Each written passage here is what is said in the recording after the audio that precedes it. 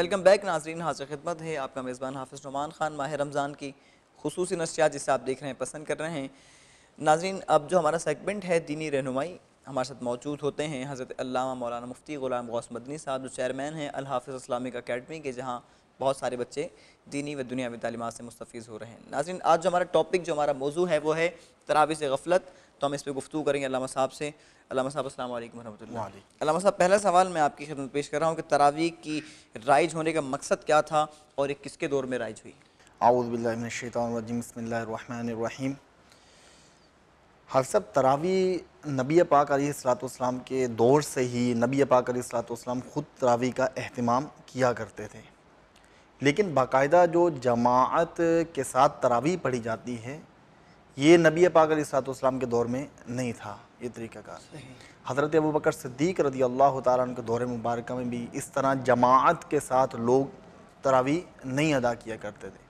لیکن تراویح نبی پاک علیہ الصلاۃ والسلام کی یہ سنت تھی اور نبی پاک علیہ الصلاۃ والسلام اس کا اہتمام فرمایا کرتے تھے اور صحابہ اکرام فردن فردن تراویح کا اہتمام کیا کرتے تھے۔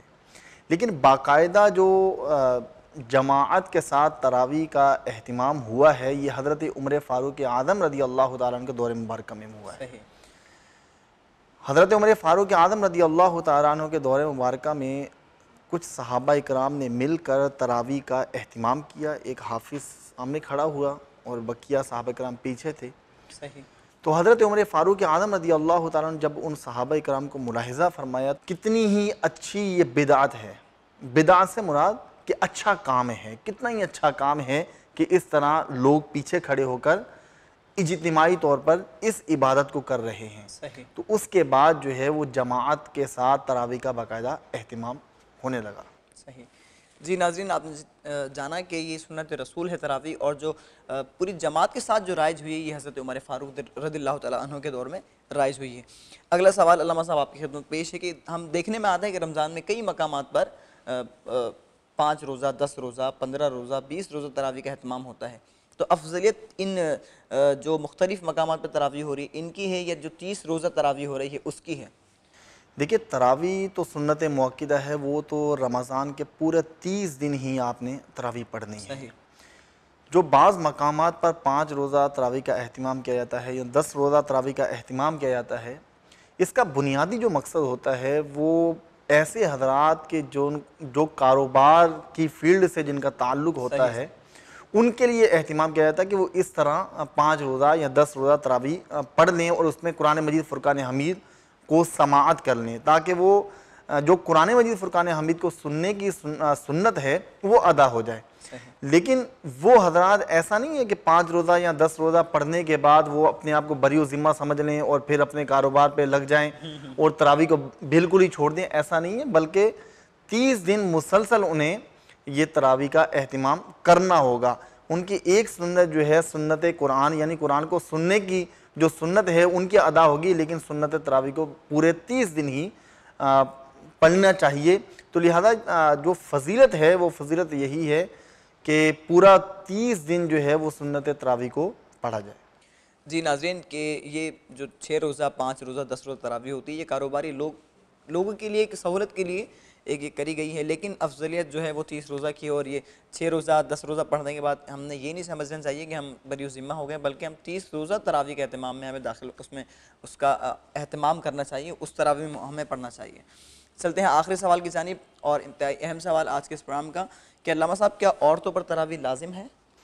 دیکھیے یہ ہماری بعض خواتین یہ سمجھتی ہیں کہ صرف تراوی مردوں کا کام ہے۔ مرد ہی پڑھیں جا کر ہم خواتین جو ہیں وہ سحری بھی بناتی ہیں افطاری بناتے ہیں ہم تھک جاتے ہیں ہم پر تراوی پڑھنا لازم نہیں ہے۔ تو ایسا نہیں ہے۔ یہ مرد اور خواتین دونوں کے لیے سنت معقدہ ہے۔ نبی پاک علیہ السلاۃ والسلام نے اس کی تاکید فرمائی ہے۔ نبی پاک علیہ السلاۃ والسلام اس کو پڑھا کرتے تھے۔ ازواج متحرات بھی تراوی کا اہتمام کیا کرتی تھیں۔ لہذا عورتوں پر بھی تراوی ادا کرنا یہ ضروری ہے۔ اس ضمن نے ایک سوال کا جواب دے دوں کہ بعض لوگ یہ سمجھتے ہیں کہ ہم تراوی نہیں پڑھیں گے تو ہمارا روزہ نہیں ہوگا۔ تو ایسا بالکل نہیں ہے۔ اگر تراوی نہیں بھی پڑھی کسی شخص نے تو اس کا روزہ ہو جائے گا۔ کیونکہ روزہ ایک الگ عبادت ہے اور تراوی ایک الگ عبادت ہے۔ تو علامہ صاحب عورتیں کس طرح مطلب عورتوں کو مسجد جانا تو منع ہی ہے؟ تو کس طرح دیکھیں عورتیں گھر میں ان تراویح کا اہتمام کریں۔ لیکن اگر عورتیں چند عورتیں مل کر جماعت کے ساتھ تراویح پڑھنا چاہتی ہیں تو اس صورت میں علماء کرام نے ارشاد فرمایا ہے کہ عورت جو ہے وہ درمیان میں کھڑی ہو کر اس طرح جماعت کر سکتی ہے۔ اولاً تو عورتوں کی جماعت مکروہ تحریمی ہماری شریعت نے کہا ہے۔ لیکن اگر قائم کرنا چاہیں اور وہاں پر درس قرآن کا اہتمام کیا جائے تو اس صورت میں عورتیں جو ہیں وہ جماعت کے ساتھ تراویح پڑھ سکتی ہیں۔ اگر جماعت کے ساتھ نہیں تو فردن فردن اسے پڑھنی ہوگی یعنی اکیلے ہی اس کو تراویح کا اہتمام کرنا علامہ صاحب اگر کوئی جیسے اکثر تو سبھی تو حافظ نہیں ہو سکتی حافظہ۔ تو مطلب جو حافظ نہیں ہیں وہ کس طرح تراویح پڑھیں؟ دیکھیں اس میں جو صورتیں آپ کو آتی ہیں جو خواتین کو صورتیں آتی ہیں بس اس کے ساتھ ہی وہ تراویح ادا کر لیں ان کی تراویح ہو جائے ٹھیک ٹھیک۔ ناظرین بہت اچھی بات ہم نے آج کے اس پروگرام میں جانا کہ تراویح سے غفلت اور اس کی اہمیت کیا ہے کس کے دور میں رائج ہوئی۔ تو اس پہ ہم گفتگو کر رہے تھے، حضرت علامہ مولانا مفتی غلام غوث مدنی صاحب سے۔